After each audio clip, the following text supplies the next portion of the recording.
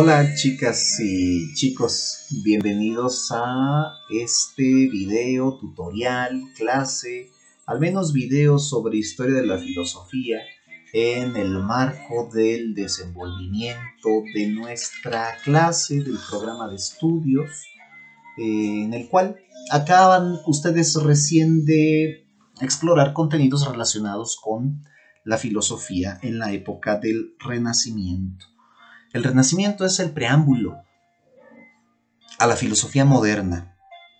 Em, por moderno entendemos que quiere decir lo nuevo, al menos así diserta eh, Descartes en eh, las meditaciones metafísicas eh, cuando escribe su texto en el siglo XVI les pido por favor que den eh, faf al mensaje que les dejo con el enlace a este video en la plataforma de Edmodo por favor para darme cuenta de que están al tiro, atentos, eh, mirando esto que les recomiendo que terminen de ver hasta el final, por favor, ya que vamos eh, puntualizando sobre los contenidos de la prueba que les encargaré eh, también, por supuesto, sobre los contenidos del programa de estudios que ahora estamos desahogando.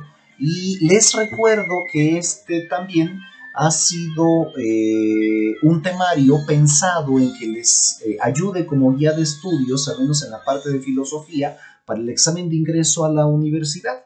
entonces, pues ya podrán imaginarse que hay pues algunas cosas que aprovechar de eh, mantenerse viéndose tanto este video como eh, aquellos que pongo en la prueba para eh, que se enteren más a profundidad de cada uno de los temas que estaremos repasando y puntualizando acá a propósito de la filosofía moderna, de la filosofía de lo nuevo. Bien, eh, ya se dieron ustedes cuenta, y si no se dieron ustedes cuenta, se los platico, eh, parece que las autoridades educativas eh, mexicanas lo que prefieren al momento de mm, enseñar filosofía, de querer enseñar filosofía, de informar a estudiantes de preparatoria sobre filosofía, es que se haga sobre la historia de la filosofía. Es decir, las autoridades educativas parece que entienden que aprender filosofía es aprender historia de la filosofía.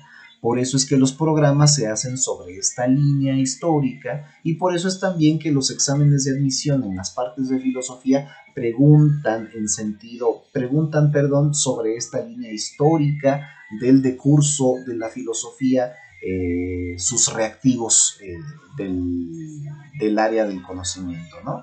Eh, bien, entonces, eh, parece que más allá de si eh, resulta atractiva o no la enseñanza de la filosofía a través de la historia de la filosofía, las autoridades educativas como que quieren rescatar eh, cuestiones muy importantes, generales, de los grandes momentos históricos de la filosofía. Ustedes ya vieron algunos como fueron presocráticos, donde lo importante fue preguntarse, rigorizar, sistematizar por el origen del universo, de la materia, del cosmos, en fin, en una filosofía cosmológica, mientras que en la filosofía clásica griega lo que se deja sentir es una filosofía más bien de carácter antropológico por su cercanía con lo humano, intereses éticos, políticos, eh, mm, la cuestión de los gobiernos, de la felicidad, eh, del amor, eh, como lo vimos en el primer parcial con la discusión del banquete, en fin. La Edad Media es un periodo eh, teológico donde filosofía y teología es casi lo mismo. Lo importante es pensar sobre la fe y la razón, principalmente la fe, explicar la fe con razones y argumentos eh, propios de la filosofía. Eh, bien, esta Edad Media con fuerte influencia de la iglesia y del pensamiento cristiano es vigente desde el siglo IV eh, eh, hasta el siglo XVI que se da la reforma protestante y que la Iglesia católica tiene una real y fortísima sacudida por primera vez en su historia. Cuando hay un cisma que más allá de un rito distinto, como había sucedido anteriormente con los ortodoxos y orientales, eh, tenía que ver eh, pues con toda una cuestión económica, política y hasta bélica de por medio después de la reforma protestante. Eh, bien, entonces hubo muchos siglos, 10 siglos, 12 siglos llenos de cristianos, 12 siglos, 1200 años al menos de un pensamiento teológico tremendamente religioso donde el centro de todo es Dios, pero de todo, de todo. Es decir, eh, eh, Dios no es solamente el centro de la religión, del culto, de los actos de piedad. No, no, no, no, es el centro de todo. Al decir de todo es de todo. Eh, hay un debate grande por si la Edad Media fue oscura o no, porque ciertamente unos conocimientos se mantuvieron velados, pero otros tantos fueron promovidos, ¿no? Por ejemplo, fue velado el estudio anatómico, pero fue promovida la arquitectura en las grandes catedrales y edificios públicos de la época. Eh, pero eh, la arquitectura, la medicina, la anatomía, la teología, la filosofía, eh, la lógica, eh, la gramática, eh, la literatura, todo giraba en torno a Dios, la ciencia giraba en torno a Dios, de tal manera que el fundamento de la ciencia era lo que Dios decía era lo que se revelaba en la Biblia, lo que decía la iglesia, lo que el Papa y los obispos autorizaban a interpretar. Acuérdense del renacimiento que le dieron en la torre a Giordano Bruno, lo mataron por andar de aventurero pensando que el universo era distinto a como decía la Biblia que era, o de Galileo que padeció la censura por un eh, atrevimiento semejante. Eh, Descartes, uno de los personajes de la modernidad, el primero que revisarán ustedes, no fue menso. Él, por ejemplo, fue sorteando, gracias a la historia, con estos antecedentes de persecución y de censura, eh, y se fue a Holanda, por ejemplo, a publicar donde la Inquisición no tenía tanto poder como si lo tenía en Francia, su tierra eh, natal. Pero bueno, ¿qué es esto eh, que, que, pretende rescatar la autoridad educativa mexicana? cuando nos pide que revisemos a la filosofía moderna. La filosofía moderna tiene muchas aristas, chicos y chicas, así como ustedes vieron desde el Renacimiento, ¿no? Les repito, el Renacimiento es el preámbulo y ustedes en el Renacimiento se dieron cuenta que hay eh, unos pensadores que se dedicaron a pensar el universo, las ciencias y las matemáticas. Hubo otros pensadores que se dedicaron a pensar lo político y lo social. Hubo otros pensadores que se dedicaron a pensar eh, lo religioso, la espiritualidad, la mística. Hubo otros pensadores que se dedicaron a pensar otro tipo de cosas. No hubo descubrimientos como la imprenta o los viajes a América que le abonaron a otras maneras de pensar y que, fueron impactando en la vida de la gente en aquel tiempo en Europa. Eh, bien, pero ¿qué es lo que le importa? Eh, a la autoridad educativa que mantengamos en claro sobre la época, perdón, sobre la filosofía moderna, es eh, una cosa que se llama noceología. el interés de la filosofía moderna es la noceología el interés de la filosofía moderna es el conocimiento, muy puntualmente la validez del conocimiento, ¿no? Mm, así como a los presocráticos les interesaba la cosmología, a los eh, filósofos modernos les interesan muchos temas, pero la autoridad educativa quiere que mantengamos claro y en la memoria que una parte importante de esta filosofía moderna fue la aquella que estuvo reflexionando constantemente en torno al conocimiento y a su validez que puedo conocer, que es verdadero, qué es lo que hace que algo sea verdadero. Mm, bien, algo más y voy hilando ideas. ¿Qué es lo nuevo de la filosofía moderna? Quedamos que la palabra moderno significa lo nuevo. ¿Qué es lo nuevo? Lo nuevo es el paradigma de pensamiento eh, con respecto de la Edad Media. Lo nuevo para la modernidad es el modelo, eso significa paradigma de pensamiento con respecto de la Edad Media.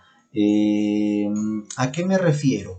Eh, ¿Qué les acabo de decir que era el modelo de pensar en la Edad Media? Todo giraba en torno a Dios. Entonces, el paradigma, el modelo para pensar es la revelación. La revelación es la Biblia y la tradición de la iglesia con lo que dicen los obispos y el Papa. Entonces, eso era el paradigma de pensamiento, la revelación.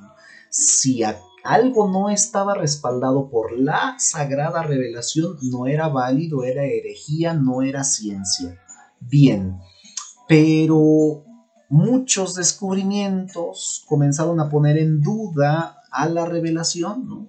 La Tierra no era plana, la Tierra no era el centro del universo, Europa no era el centro del mundo, eh, el mundo tenía otras tierras que no habían sido descubiertas, otras religiones, otras culturas, y todo eso fue haciendo que la mentalidad de la gente dijera, lo que me ha dicho la revelación, la religión, la fe, la iglesia no es cierto, no es del todo cierto. Hubo una crisis gravísima, todo aquello que históricamente había sido, cierto, hoy ya no lo era. Todo aquello que históricamente había sido ciencia, todo aquello que hacía 1200 años había sido ciencia, resulta que hoy por hoy ya no es ciencia.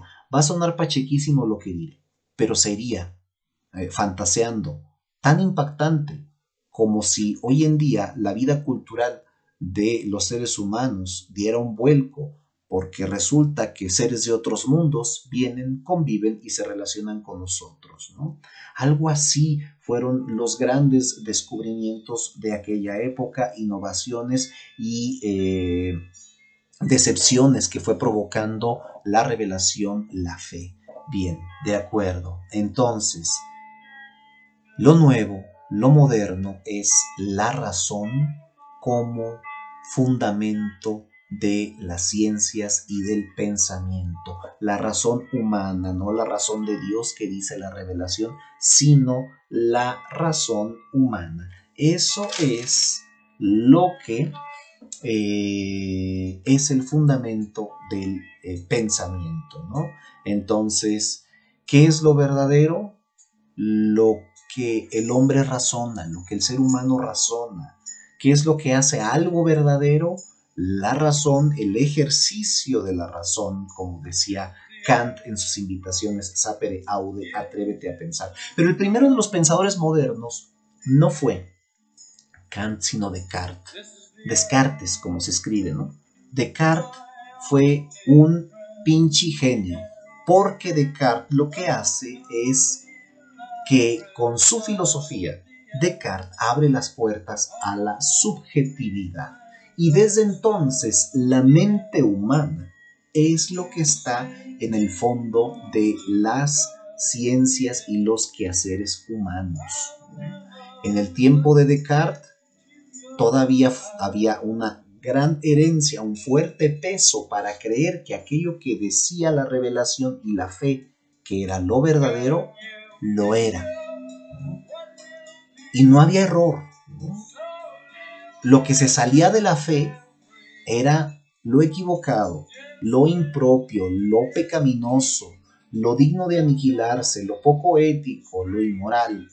Eh, cualquier cosa, amigos y amigas, cualquier cosa, cualquier cosa.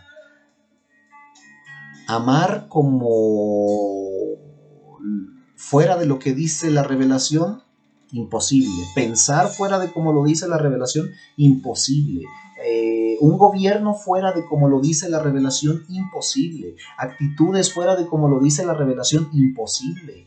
Que mm, los blancos, eh, los amos y los blancos fueran iguales a los esclavos, a los trabajadores, eh, en contra de la revelación, imposible. En fin, había una certeza y era la fe pero había entrado en crisis y Descartes dice, no, no teman más, quizá esto no es tan seguro como lo que afirma la religión, pero en, mm, pero aunque no sea tan seguro como lo que afirma la religión apoyada en la revelación, es lo que nos da la certeza real.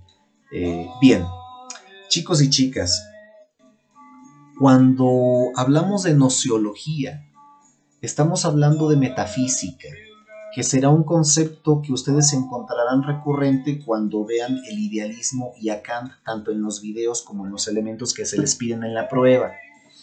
Mm, la metafísica no es una cuestión esotérica, chicas y chicos, aunque así se entiende en el imaginario popular. Metafísica no tiene que ver con leer el cigarro, el café, con las limpias, el zodiaco, la este, eh, recordar las vidas pasadas y ese tipo de pacheques. Eh, eh, la metafísica, como su etimología lo dice, es lo que está más allá de la razón. Recuerden la etimología, meta, perdón, más allá de la naturaleza, perdón, más allá de la materia, más allá de la naturaleza. Recuerden, meta, más allá. Física de fisis, eh, materia, naturaleza. Lo que está más allá de la naturaleza, pero en relación con la naturaleza eh, y que no se desprende de los elementos objetivos. Por ejemplo, hablar del amor en muchas ocasiones es metafísico, ¿no?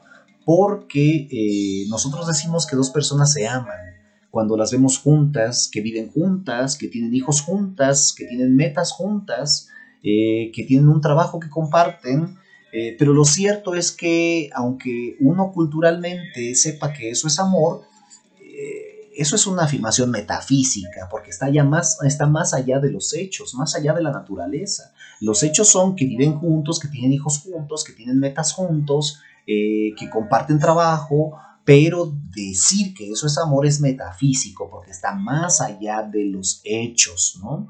Entonces, eh, la metafísica es eh, en gran medida el, ¿cómo decirlo?, el, el, mayor entretenimiento del quehacer filosófico. No hay filosofía de primer nivel si no es metafísica, al menos en una medida. Y la metafísica tiene eh, algunos grandes ejes de reflexión, como son la lógica, como lo son em, em, la teología natural, no la religiosa, la natural, eh, el, como lo es eh, la epistemología. y la epistemología, por ejemplo, es lo que tiene que ver con la manera de pensar, ¿no? Em, es decir, eh, ¿qué nos dice que la ciencia sea ciencia?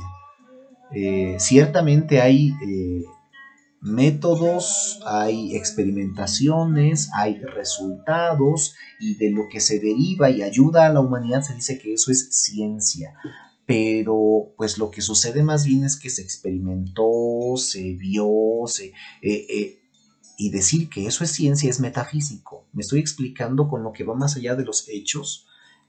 Entonces hay diferentes maneras de hacer ciencia, chicos y chicas, y esas diferentes maneras de hacer ciencia empezaron a volverse consistentes con la filosofía de la modernidad porque es lo que tiene que ver con la razón, con la experiencia, con la reflexión, con la experimentación, con las ciencias especulativas, con las ciencias exactas y las de la naturaleza, eh, y comenzó a darse, repito, en la ah, filosofía moderna, elemento importantísimo para que vayan eh, recordando, ¿no? Eh, la diferencia con la Edad Media es que en la época moderna se piensa a través de la razón, no de la revelación. El problema es nociológico en la filosofía moderna sobre la validez del conocimiento. Y eh, gran parte de lo que sucede acá en las discusiones filosóficas de la época moderna es metafísica, son reflexiones sobre aquello que está más allá de los hechos. Y es una metafísica que especula sobre el conocimiento, qué es conocimiento, cuándo es válido el conocimiento, qué legitima el conocimiento, eh, qué hace que algo sea verdadero, qué es falso, qué podemos conocer, qué no podemos conocer, qué podemos decir sobre lo que conocemos y sobre lo que no podemos conocer, en fin. Por ahí es lo que quieren que tengamos bien claro en la memoria sobre este periodo de la historia de la filosofía. Y todo sucede con el famoso cogito ergo sum de Descartes, pienso, luego existo. Eh, cogito no significa pienso, pero así se traduce en español. Eh, lo más propio sería decir que cogito significa dudo, y Descartes nos invitaba a dudar de todo, la duda metódica, porque en su tiempo no se podía creer en lo que se decía que debíamos de creer, que era en la revelación. Por eso había que dudar de todo, de los sentidos mismos, los sentidos nos engañan. Un ejemplo de esto es la película de Matrix. Siempre lo traen a colación, pero es lo cierto. El argumento de Matrix es cartesiano en gran medida porque en el fondo nos dice que los sentidos nos engañan, que la realidad está más allá de lo que percibimos objetivamente con nuestro cuerpo, con los sentidos en este mundo. La realidad va más allá, los sentidos nos engañan. Esto es una ilusión, decía Descartes. Eh, por eso dudo de todo, dudo de la revelación, dudo de la matemática, dudo de, de la lógica discursiva, dudo de los sentidos, dudo de la experiencia, pero si dudo, fíjense ustedes qué cosa tan hermosa hace Descartes para abrir las puertas a la racionalidad humana y para poner a la subjetividad a la cabeza de todo, incluida de la ciencia, del desarrollo, de la tecnología, de estos medios que hoy nos permiten comunicarnos. Eh, si dudo de todo, dice Descartes, hay una cosa de la que no puedo dudar. ¿Me van siguiendo? A ver si caen en la cuenta. Dudo de lo que me dicen que es cierto. Dudo de lo que existe, dudo de lo que veo, pero ¿de qué no puedo dudar?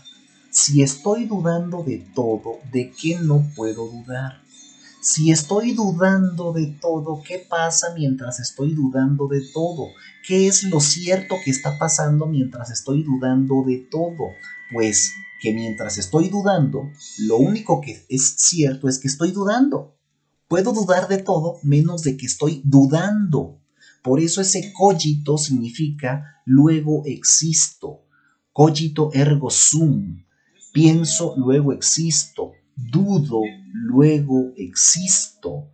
Es hasta que yo estoy dudando que me doy cuenta que de lo único que no puedo dudar es de que estoy dudando. Yo dudo. Y es ahí también donde Descartes pone importancia al yo con toda la carga semántica, psicológica, filosófica que tiene para la modernidad la palabra yo y el pensar que yo es un algo real como que vive dentro de mí, de mi mente, de mi espíritu, de mi persona. Sin Descartes, sin ese cogito ergo sum, quién sabe en qué momento de la historia se hubiera llegado a esa eh, conjetura. Eh, bien, eh, de acuerdo, estaremos preguntándoles en la prueba elementos sobre filosofía cartesiana, y veremos a Descartes como el máximo representante del racionalismo ciertamente estará Descartes como máximo representante del eh, racionalismo. Eh, ¿Qué más? Estoy mirando la, prueba, perdón, disculpen que me distraiga, pero es para llevar un hilo de, eh, de lo que les estoy platicando sobre filosofía moderna. bien, son Tres, las corrientes filosóficas de la modernidad, no lo olviden, racionalismo, empirismo, idealismo.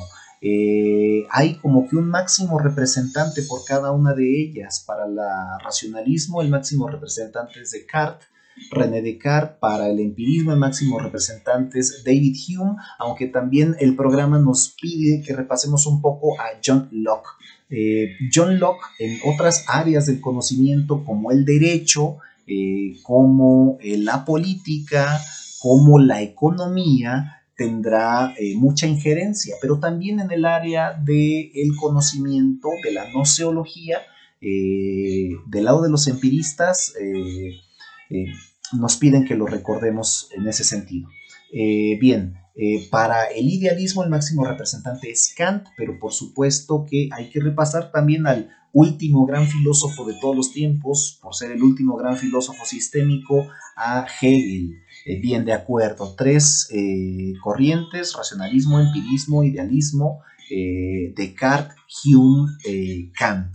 y por ahí va a girar principalmente el quehacer de los temas y de las pruebas. No es un contenido sencillo, chicos y chicas, es muy denso, es pesado. he de decirles que, como empezaba en el video este, en la modernidad muchas cosas comienzan a tomar la forma de como son hoy y una de ellas fue la filosofía profesional. Es en esta época, la filosofía moderna, que la filosofía profesional se hace tal, se profesionaliza el oficio filosófico, que surgen estudios eh, rigurosos en universidades europeas de filosofía, más allá de los estudios eclesiásticos que ya existían para algunos eh, monjes, eh, sacerdotes o también para algunas familias reales. Pero se profesionaliza la filosofía y comienza a haber filósofos escribiendo para filósofos, como es el caso de Descartes, de Kant, de Hume. Eh, yo les invitaría, por ejemplo, a que ojearan, están en PDF, eh, las meditaciones metafísicas de Descartes, el discurso del método del mismo autor el Tratado sobre el Entendimiento Humano de David Hume o la crítica de la razón pura o la crítica de la razón práctica o la crítica de la razón del, juicio, perdón, la crítica del juicio de Kant. Y verán ustedes que son libros dificilísimos de leer, dificilísimos, nada que ver con Platón eh, ni con Santo Tomás. Eh, no, no, bueno, si de por sí algunos eran complicados en épocas anteriores, a partir de la filosofía moderna son complejísimos, eh, abstractos, densos, oscuros algunos de ellos. Entonces, no es lo más fácil de entender en los videos, pero les aseguro que en textos escritos tampoco es lo más fácil de entender, quizá pudiera ser más complicado, así que vean dos o tres veces los videos para estar más o menos enterados de por dónde pueda ir la cosa. es más, de hecho Hegel, yo les mencionaba, lo verán al final de los autores, Hegel es el primer filósofo que logra convencer a su príncipe de que le pague por ser filósofo, de que le pague por pensar, de que le pague por escribir.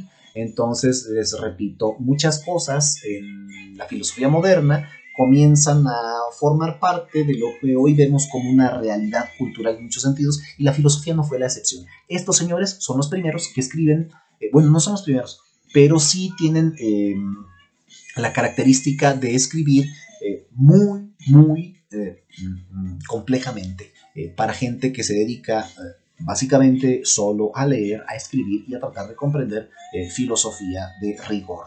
bien, em, entonces tendremos a, Descartes con el racionalismo. Em, Habrá que repasar cuál es el criterio de verdad para los eh, racionalistas, también cuál es el criterio de verdad para los empiristas, eh, sus eh, ideas sobre nociones, ¿no? Por ejemplo, para, para Hume, ¿en qué consiste conocer? para Hume y para Locke, ¿qué son las ideas?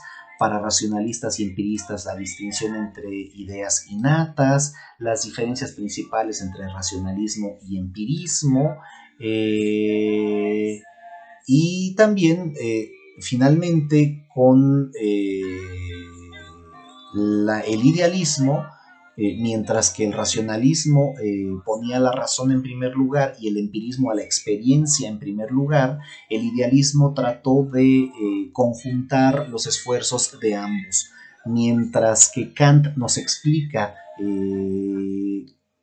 cuáles son las características de la ciencia y qué debería de decir una ciencia y cómo intervienen tanto la razón eh, como la experiencia para hacer ciencia, Hegel vendrá finalmente a decirnos que de premisas como la, el racionalismo y el empirismo, habrá de sintetizarse una propuesta que nos permita un conocimiento absoluto de las cosas. Eh, bien, entonces estoy tratando de resumir para llegar a un final y no hacer de este video algo más largo y tedioso de lo que ya es. Disculpen de antemano y gracias por mantenerse acá a estas alturas. Les repito que estoy atento a la plataforma de Edmodo eh, y que estoy a sus órdenes para tratar de resolver eh, lo que vaya surgiendo chicos y chicas. Eh, pongan atención, miren este video, bueno ya lo hicieron, gracias. miren también los videos que les pongo en la asignación para que se enteren del tema a mayor profundidad y precisión y les agradezco, les deseo mucho éxito, les ruego que se sigan cuidando, especialmente si conviven con gente vulnerable. Eh, les deseo lo mejor, los extraño también. Eh, y, bueno, pues qué más. Eh, hasta pronto. trato de responder lo más pronto que pueda en modo, en tiempo real si es posible. A sus órdenes.